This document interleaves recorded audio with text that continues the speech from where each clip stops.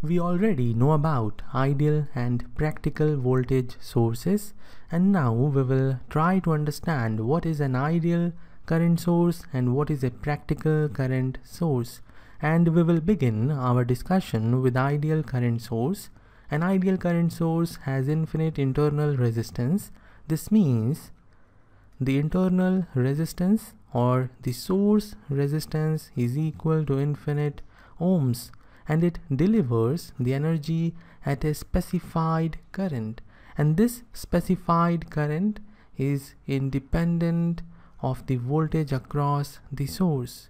And we know the fact that in case of current source there is a current source and this current source will provide the source current Is and the current source is connected in parallel with a source resistance or the internal resistance and they together form a current source and therefore the current the current you will get from this current source will be equal to the current you will have after dividing Is with resistance Rs.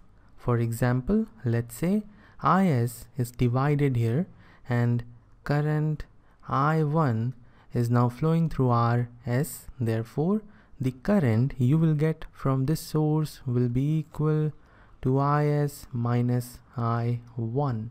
So this current will be the current any element connected across the terminals of the current source will get. So this is something we already know and now we will move on to the case in which we have ideal current source and here we are having the infinite internal resistance and we can represent the infinite internal resistance by an open circuit because we know when there is open circuit, the resistance offered is infinity. The source current is Is and here at this node the current will get divided. Let's say current through infinite resistance is I1 and we know infinite resistance will not allow any current to pass through it. Therefore I1 will be equal to 0 and all the current provided by the source that is Is will move to this path. So when you connect any element, when you connect any element across the two nodes of the source, then this element will have current Is passing through it. And let's say the voltage across the two terminals is equal to V volts and therefore we can say that the voltage V will not affect the current drawn from the source. And let's say this element is drawing current I from the source and in this case current I is equal to Is because Rs is equal to infinity. And here you can see that I is independent of voltage V therefore we have written it delivers the energy to this particular element at a specified current that is Is and this current is independent of the voltage across the source and the voltage across the source is equal to V. Now when we plot the variation of current I with change in voltage V we will have something like this. Current I will always be equal to Is no matter what is the voltage across the source. So we can keep on increasing the voltage and current I will remain constant. So we can have any voltage across the terminals of the source without affecting the current drawn from the source. So this is all for ideal current source. Now we will move on to practical current source. Practical current source has finite internal resistance.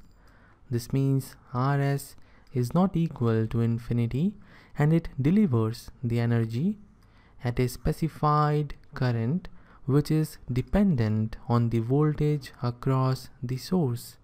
Let's take the finite source resistance Rs and let us connect one element across the terminals of the source.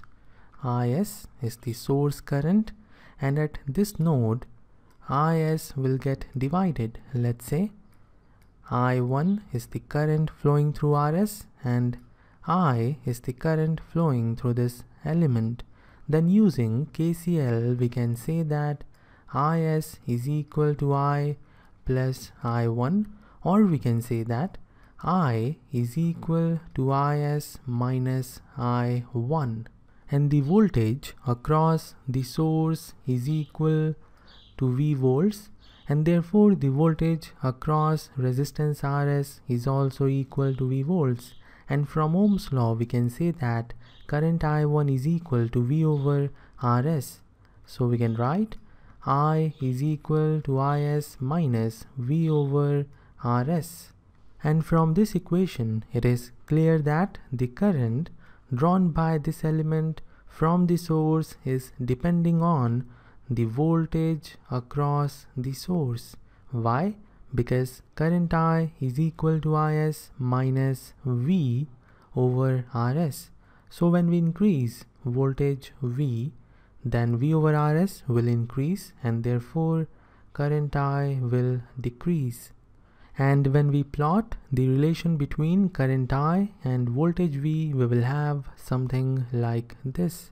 On increasing the voltage, current I will decrease and the dashed line is the ideal behavior like we are having here.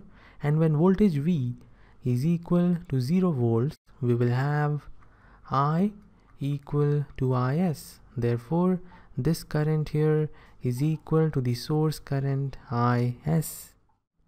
So this is all for this lecture. There are many other important points related to the sources which we will discuss in the coming lectures.